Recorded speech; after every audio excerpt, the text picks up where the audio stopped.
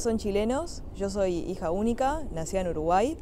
Mi infancia siempre la recorrí con ellos, somos tres en total, no tengo hermanos. Este, mi familia vive en Chile, así que nosotros estamos acá en Uruguay los tres. Mi infancia siempre la recuerdo con mucho cariño, fui una niña súper feliz, hasta el día de hoy la recuerdo así.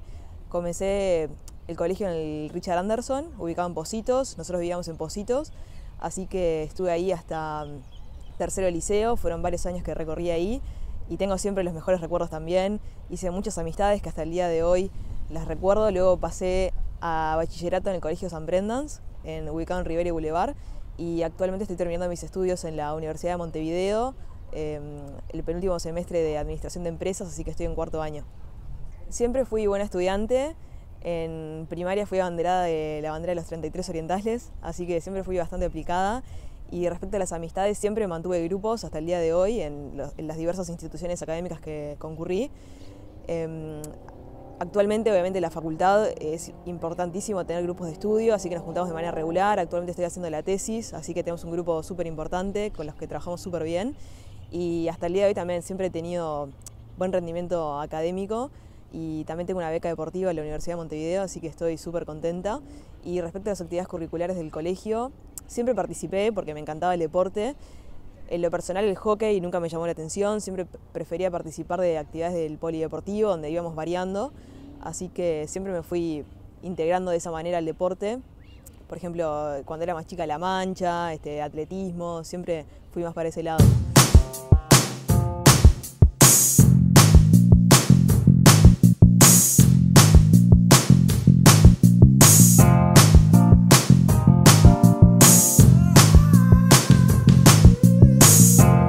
Siempre desde pequeña estuve vinculada al deporte, en especial con el colegio. Íbamos dos veces al Club Malvin en primaria, así que ahí hacíamos natación un rato en la mañana y luego hacíamos gimnasia, así que desde pequeña que estuve vinculada.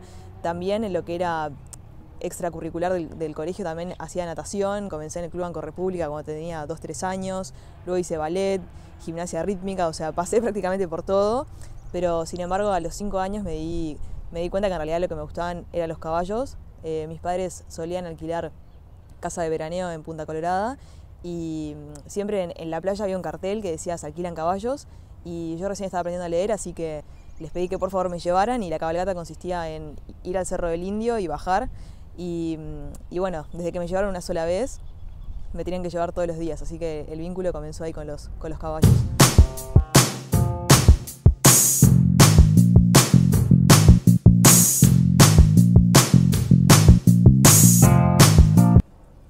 Yo comencé equitación en el año 2005, sin embargo en el año 2009 me especialicé, por decirlo de alguna manera, en la disciplina de adiestramiento. Comencé mis primeras competencias en el año 2009, también por lo, por lo visto este, en la categoría menores. Obviamente a medida que me, que me fue yendo bien y fue, fue, incrementando la dificultad, fui cambiando de categoría, escalando en dificultad y mm, mi primer caballo fue un caballo que se llamaba Cachafaz, que le compramos en el año 2011 luego que me acompañó durante diversas categorías, luego un caballo que también me devolvió muchísimo la confianza después del accidente fue Ramsés, que con él competí e hice el debut en la categoría mediana. Em, y luego otra yegua que me marcó muchísimo fue Rafa, que fue con la que concurrí en los Juegos Panamericanos en el 2019. Y bueno, actualmente estoy en la categoría Small Tour con Santiago, que es mi caballo actual, con quien voy a representar Uruguay los Juegos sobre Sur de Asunción 2022. Y, mm, y yo creo que el, hito de mi carrera deportiva hasta ahora ha sido los Juegos Panamericanos del 2019. Yo comencé en la categoría menores, que en dificultad es de las más bajas, obviamente a medida que se va incrementando lo que va cambiando también es la dificultad para ejecutar los ejercicios, son pruebas que se ejecutan en ejercicios al paso, al trote y al galope, y yo diría que cuando se va incrementando, lo, que vendría a ser los ejercicios son cuando se empiezan a desplazar los caballos lateralmente, las piruetas, que eso es ya de la categoría Small Tour, que es la, en la que compito actualmente.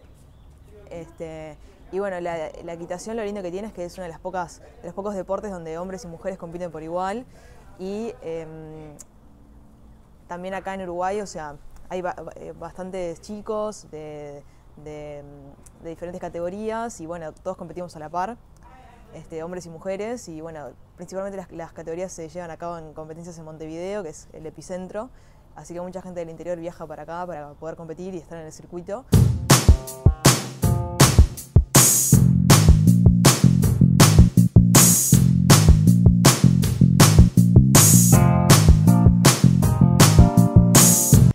A mi buen desempeño a nivel nacional, nos animamos a competir afuera y darme un poco a ver a nivel sudamericano. Por ejemplo, viajamos a Brasil en el año 2015, luego a Ecuador en el año 2014 en la ciudad de Quito. Esa fue una competencia que viajamos con este, caballos compartidos, se realizaba un sorteo, era con caballos prestados. Fue una linda experiencia, ahí viajamos con una delegación que también concurrió gente de salto, juveniles de salto. Este, luego en Brasil alquilamos un caballo, eh, fue en la ciudad de San Pablo. Luego también este, competí en Buenos Aires en el año 2013 en la categoría Fate Children, también con un caballo alquilado. Y mm, en el 2018 fuimos a calificar a Buenos Aires en el Club Hípico Argentino con la yegua Ráfaga para intentar obtener el cupo para los Juegos Panamericanos del 2019, que obtuvimos dos cupos individuales y luego para cerrar en el año 2019 también competí en el Panamericano. Al haber tenido la oportunidad de competir a nivel internacional, obviamente que uno se lleva muchas vivencias, son nuevas razas de caballos que uno ve, nuevos equipos, este, diferentes formas de hacer las cosas, diferentes formas de entrenamiento y mm, creo que cada experiencia, debido a que también fueron en diferentes países, nos ayudó también a tejer redes a nivel de contactos, tanto que hoy en día nos dan hasta una mano, entrenadores de afuera, este, importar cosas, equipamiento, así que creo que es una experiencia súper rica, tanto a nivel deportivo como a nivel de crecimiento personal. También obviamente el nivel es mucho más alto, este, los competidores están usualmente mucho mejor preparados porque tienen mucha más experiencia, compiten de manera regular, entonces quieras o no, eh, llegar a la competencia van mucho más preparados a nivel mental y deportivo.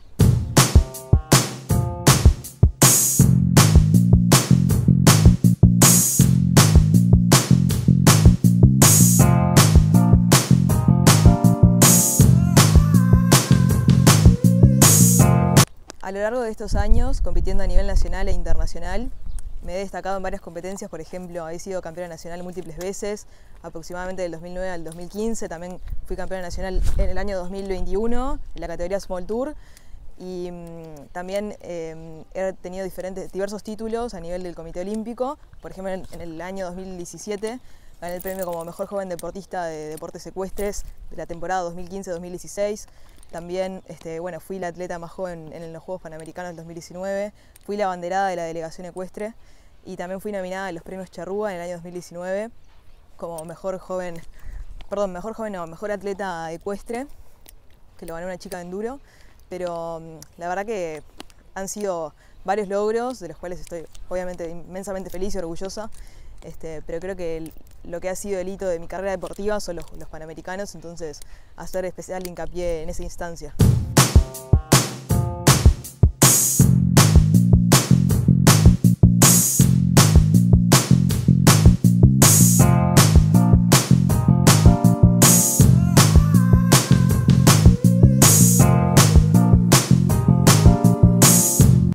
Soy fiel creyente que la clave para llevar a, cabo varias actividades es la organización y es mi, eh, mi clave para llevar a cabo todo y poder cumplir con todo.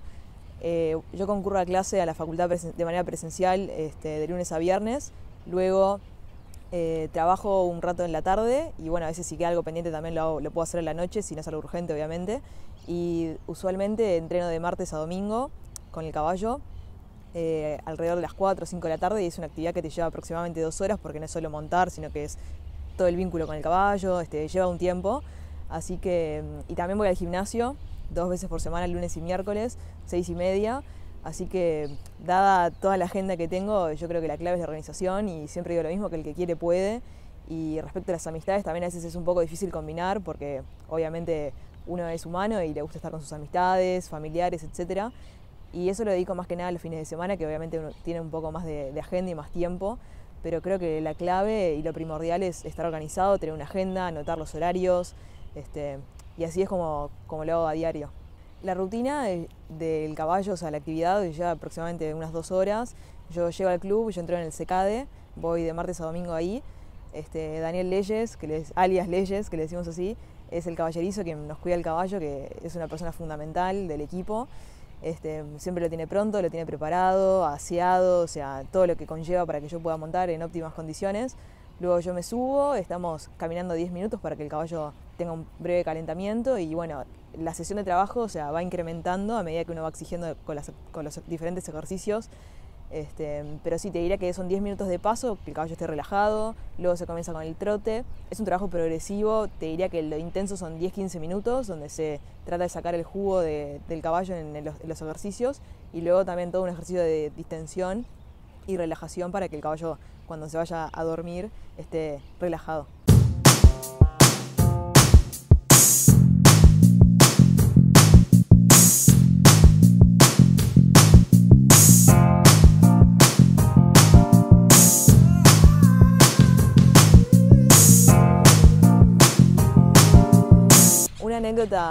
Negativa o que quizás no la pasé muy bien fue cuando en el año 2013 me caí el caballo, sufrí un accidente, estuve un mes casi internada en el hospital, pero bueno, lo que rescato es que no, no me rendí, no bajé los brazos y obviamente que me costó volver porque uno agarra miedo y falta de confianza, pero de a poco la fui recuperando y bueno, aquí estoy hoy en día, así que algo súper positivo de todo ese, ese camino. Y luego la anécdota positiva y que me llenó de alegría y orgullo fue ser la atleta más joven de los deportes secuestres en los Juegos Panamericanos de Lima 2019. Fue un orgullo, este, súper contenta, súper feliz de a mi tan corta edad haber tenido participación representando Uruguay en el año 2019 en Lima.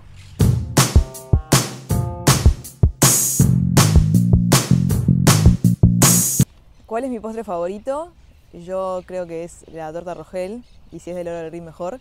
¿Y qué película vería otra vez? Yo diría que es Top Gun, en especial Maverick, que es la que salió recién. ¿Qué importancia le a la política en mi vida? La realidad es que trato de mantenerme informada tanto lo que sucede a nivel nacional como internacional y luego de qué manera me informo.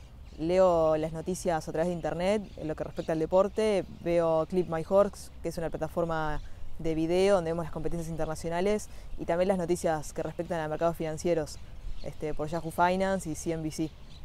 ¿Qué música me gusta escuchar? La realidad es que tengo un gusto bastante variado. Actualmente estoy más con el rock, en especial el rock argentino, Soda Stereo, me gusta mucho.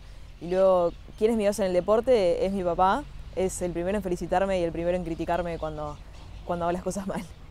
¿Quién es mi, mi rival a nivel nacional? Yo diría que hoy en día el, el equipo que va a representar a Uruguay en el de Sur somos, por más que es un equipo, obviamente somos rivales entre sí. Y luego a nivel internacional, Brasil y Argentina tienen equipos muy competitivos que nos vamos a enfrentar ahora. Y luego a quien admiro de los deportistas uruguayos, eh, Emiliano Laza. A quien admiro a nivel internacional, a Charlotte Fry, que es la actual campeona del mundo de los Juegos Mundiales.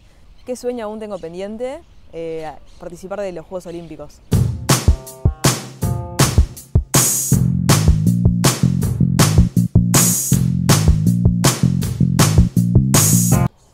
Quiero contar cómo viví mi mejor experiencia deportiva, la cual fue los Juegos Panamericanos de Lima 2019.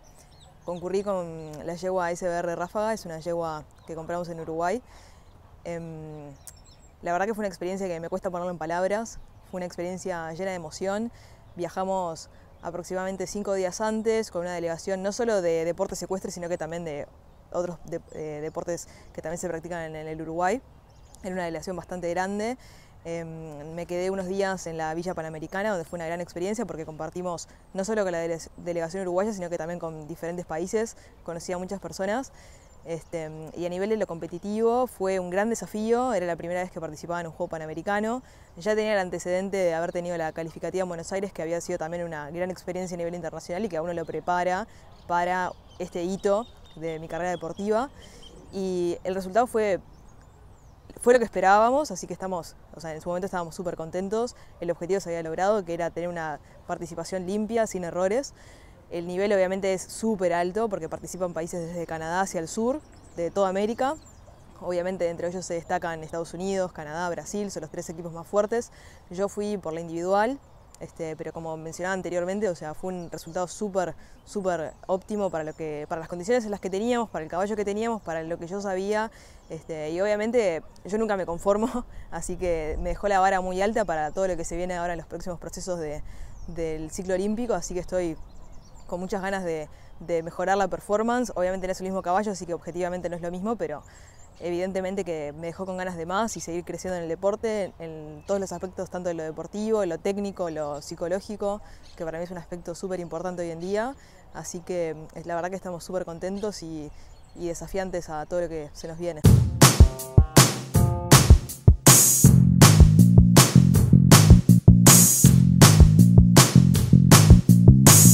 Bueno, ¿en qué consiste la disciplina del adiestramiento? Consiste en ejecutar una serie de movimientos con el caballo, tanto en los diferentes tres aires, que son el paso, el trote y el galope, dentro de un picadero que es de 60 por 20 metros, donde hay letras alrededor.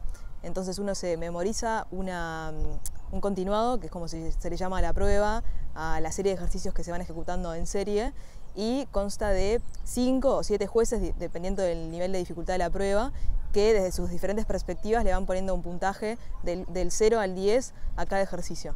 Entonces, evidentemente es muy, muy importante ser una sola figura con el caballo, por eso existe el concepto de binomio, donde el juez tiene que eh, no darse cuenta de lo que uno está haciendo arriba del caballo prácticamente, o sea, que todas las ayudas que el jinete usa para indicarle al caballo sean imperceptibles y verse como un todo y no dos cosas por separado, no jinete y caballo por otro lado.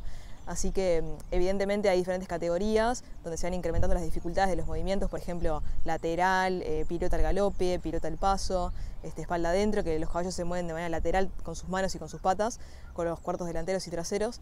Este, y actualmente yo estoy en la categoría Small Tour, que se compite en tres días. La prueba del primer día se llama San Jorge, la prueba del segundo día Intermediaria 1 y la prueba del tercer día es una prueba con música que se llama Cure o Freestyle donde uno tiene que incluir una serie de movimientos, obviamente de la dificultad de la prueba, este, y uno los va este, congeniando en serie de la manera que a uno mejor le parece que el caballo se luce y elige una música adecuada a la diferente ejecución.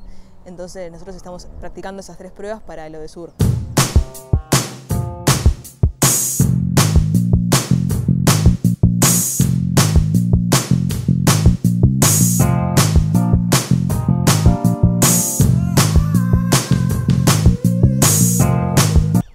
Gustaría agradecer a todo el equipo que está detrás de, mí y de Santiago, que es mi caballo actual, partiendo primero por mi mamá y mi papá, que me apoyan a diario, tanto en lo personal como en lo deportivo. Luego a toda mi familia que también está en Chile, que siempre cuenta con su cálido apoyo. Luego con María Noel, que es mi psicóloga deportiva. Eh, Rosina Carbone, que es la veterinaria del, caballo. Ángel Sosa, que es el herrero. Fernando Silva, que es el quiropráctico y acupunturista de Santiago hoy en día también de Waldo Schoenfeld, que es nuestro veterinario de Chile. Este, y bueno, a todas las personas que de alguna forma u otra me han ayudado a través de mi carrera deportiva, en especial a todos los caballos que me han acompañado durante todos estos años, actualmente de Santiago, pero he pasado por muchísimos más, así que ellos también me han ayudado a ser quien soy hoy, tanto en lo personal como en lo deportivo, así que inmenso agradecimiento. También a Rubén de Rosa, que es mi coach también, así que un gran, gran agradecimiento a él también y Ángel Bertolotti que también me ayudó a, a formarme a ser quien soy hoy, tanto también en lo personal como en lo deportivo. Muchas gracias.